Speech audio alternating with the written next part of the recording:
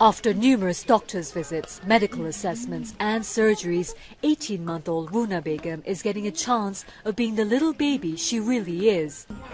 Remarkable considering soon after birth in a remote village in northeastern India, doctors gave her just a few months of survival.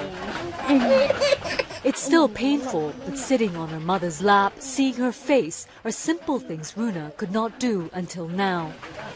Runa is diagnosed with hydrocephalus, a disorder causing fluid to build up in the brain. Day by day, her head started growing larger. It became very difficult for us to carry her. Her parents couldn't afford to treat her, but thanks to an outpouring of goodwill halfway across the globe and a leading private hospital in New Delhi, Runa is now in a much better place.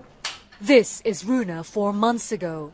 At 94 centimeters, the circumference of her head was almost triple that of a normal baby. There were 10 liters of excess fluid inside her brain. The skin so stretched, pulling her eyelids over her eyes, making it impossible for Runa to see. Neurosurgeon Sandeep Vaishya has treated hundreds of babies with hydrocephalus before, but he's never seen anything like this. I just felt so sorry for the baby that she, it was actually a pitiful sight. The, the only way the father could hold the child was by holding on the side of her head and just lifting her up. Standard treatment for hydrocephalus is a cerebral shunt, inserting a hollow tube into the brain, draining the fluid into another part of the body. Doctors have been draining out the excess fluid from little Runa Begum's head for days, but this is the main surgery.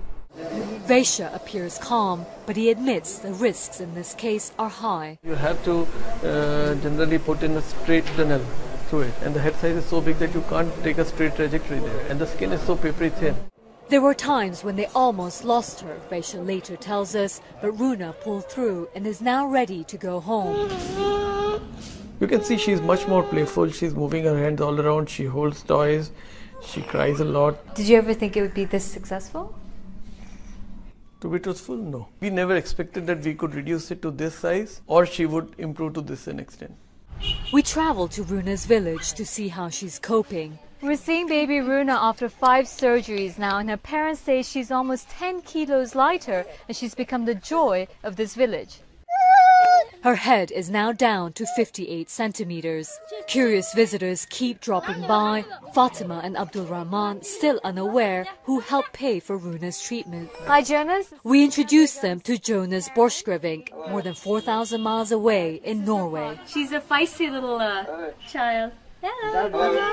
Jonas and another student, Natalie Kranz, put up Runa's pictures on a crowdfunding website in April. In four months, they raised $60,000. I want to ask them how they see um, their future regarding uh, Runa Begum. They hope that she will be healthy, like a normal child, that she'll be able to go to school. It's too early to tell if Runa will ever be completely normal.